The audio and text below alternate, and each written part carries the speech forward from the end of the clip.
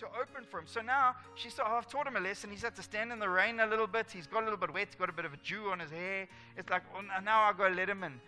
I was arose to open for my beloved, and my hands dripped with myrrh. Like she's back in the game now. Actually, I've taught him a lesson. We on now.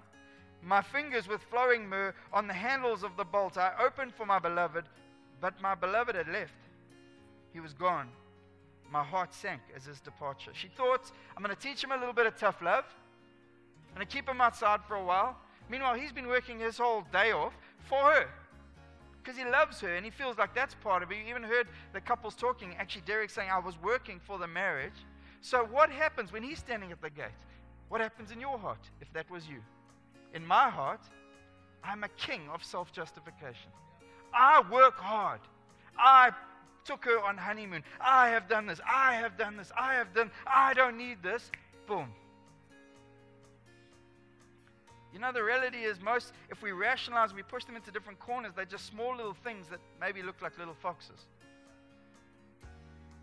And um, he didn't feel like he thought, even though he'd worked hard, he, he maybe slipped up and he maybe messed up, but he thought he'd come home and actually the love of the months since honeymoon will be amazing. He didn't feel like he would get attacked at the gate and locked out.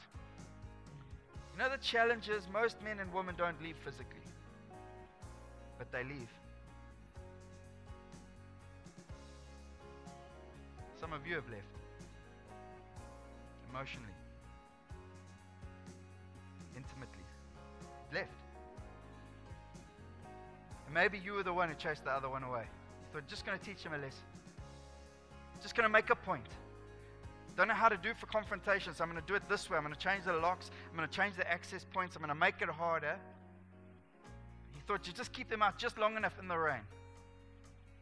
Just hold that one thing that you won't let go of the time they slipped up. And then when you thought the time was right, you went to the door, but they've left.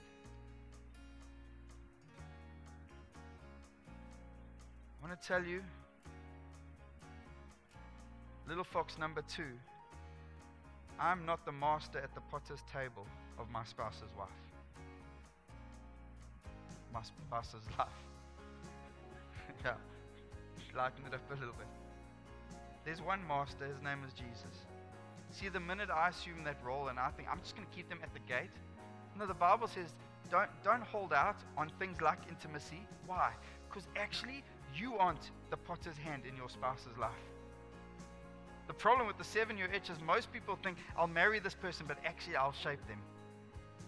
I just need a few years.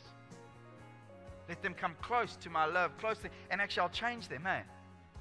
Sometimes I'll teach them by keeping them outside, keeping them at a distance. Maybe it's not actually a locked gate, but it's just a distance.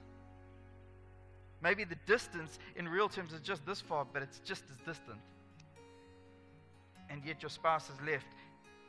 I would say often the reason we're trying to change our spouse is actually because we're worshiping an idol, and that idol is me. And she or he is not serving me, so me gets offended, and I've got to worship my idol by trying to change the person I think could bring me that. It's a challenge, we all do it.